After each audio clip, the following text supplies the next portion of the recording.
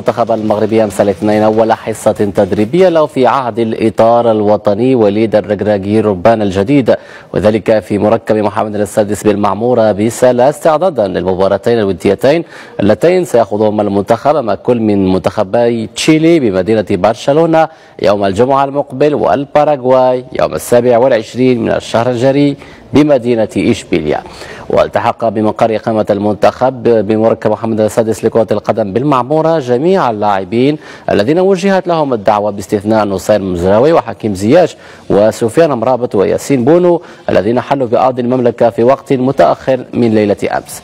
وركز الرجراجي مدرب سود أطلس خلال الحصة التدريبية الأولى على إزالة العياء والتعارف بين اللاعبين والأطر التقنية الجديدة المشرفة على المنتخب.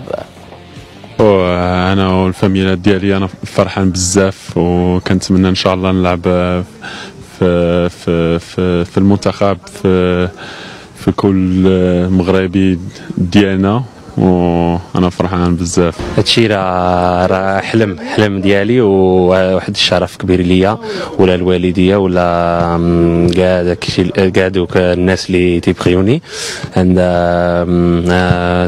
نتمناو نديرو نلعبوا مزيان وتكون يكون المغرب في ال coupe du monde يكون مزيان وان شاء الله يكون خير. الحب ديال المغاربه راه زوين بزاف و نتمناو نوريهم كل شيء هذاك الشيء اللي غنكون في في